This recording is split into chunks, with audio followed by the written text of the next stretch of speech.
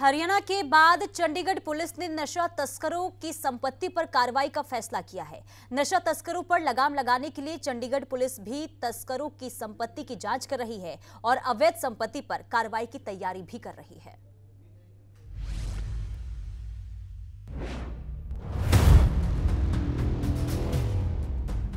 The city beautiful Chandigarh में नशे का कारोबार दिन प्रतिदिन बढ़ता जा रहा है।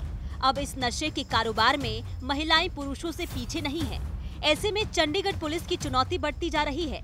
इसके बावजूद पुलिस नशा तस्करों पर लगाम कस रही है और अब चंडीगढ़ पुलिस और सख्त कदम उठाने की तैयारी कर रही है ताकि नशे के फैलते जाल को पूरी तरह से खत्म किया जा सके। ये अभी तक हमने सिर्फ़ दो का ही किया एक बाला है और एक वो पूनम। दो दो का हमने अभी तक आइडेंटिफाई किया। है। हाँ और उसमें भी उनकी कुछ प्रॉपर्टी है वो एडजॉइनिंग स्टेट में मिली है।